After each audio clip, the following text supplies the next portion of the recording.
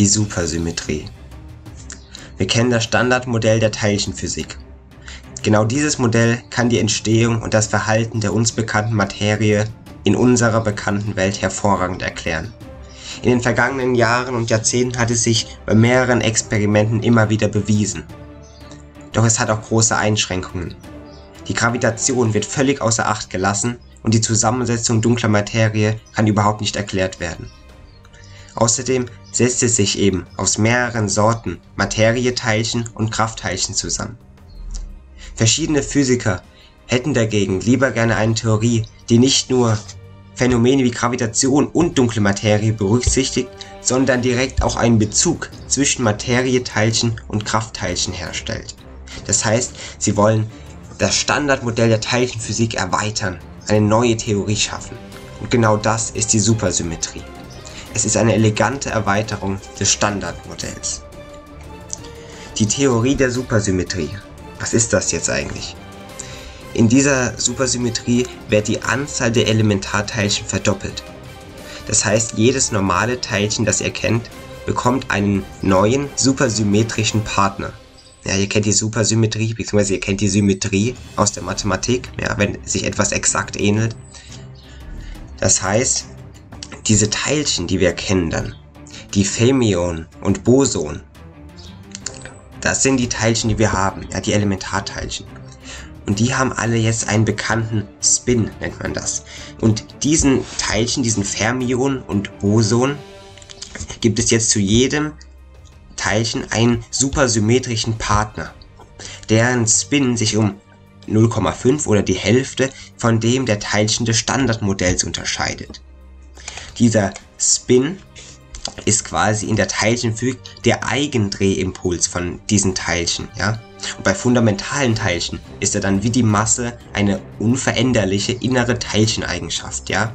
Das heißt, er beträgt dann zum Beispiel ein halb- oder ein ganzzahliges Vielfaches. Das nennt man dann Spin-Quantenzahl. Aber das ist nicht so wichtig, ja. Es geht nur darum, dass dieses Teilchen dann jeder einen gewissen Spin haben. Das heißt, zu diesen Fermionen, von denen ich eben gesprochen habe, die einen halbzahligen Spin haben, existieren supersymmetrische Partner mit ganzzahligem Spin, ja, weil deren Spin sich ja um ein halb von dem der Teilchen des Standardmodells unterscheiden. Haben wir eben gelernt, ja. Und die Bosonen mit ganzzahligem Spin, zu diesen existieren dann ebenfalls wieder supersymmetrische Partner oder Teilchen mit halbzahligem Spin. Das heißt, hier wird der Spin um 0,5 um die Hälfte verringert. Demnach verbindet die Theorie der Supersymmetrie eben die Welt der Materieteilchen mit denen der Kraftteilchen. Und das ist eben genau das, was wir erreichen wollten. Das heißt, zu jedem Teilchen des Standardmodells existiert ein supersymmetrischer Partner.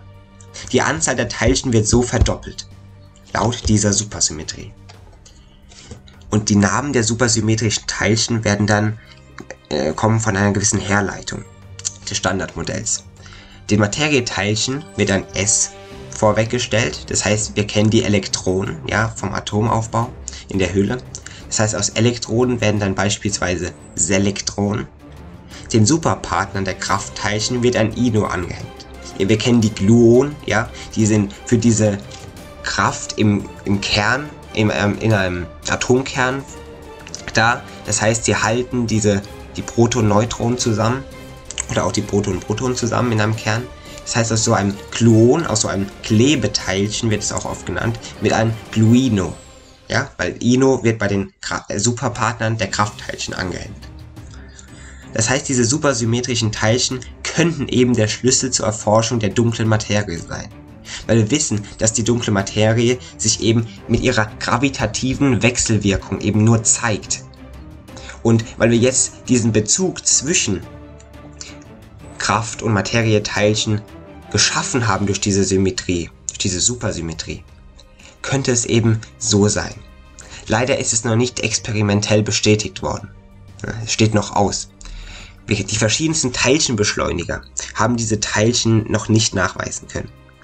Nach der Meinung der Wissenschaftler sind sie dafür zu schwer. In den LHC, Large Hadron Collider, setzt man aber dafür umso mehr Hoffnung. Denn mit Hilfe der Detektoren Atlas und CMS, boah, das braucht ihr euch nicht merken, könnte aber ein gewisser Hinweis oder Nachweis erfolgen. genau dieser Nachweis für diese supersymmetrischen Teilchen. Und wenn das wirklich klappen könnte, hätten wir schon eine große Spur, werden wir die Supersymmetrie weiter verfolgen, werden wir irgendwann auch herausfinden, was es sich mit der dunklen Materie auf sich hat.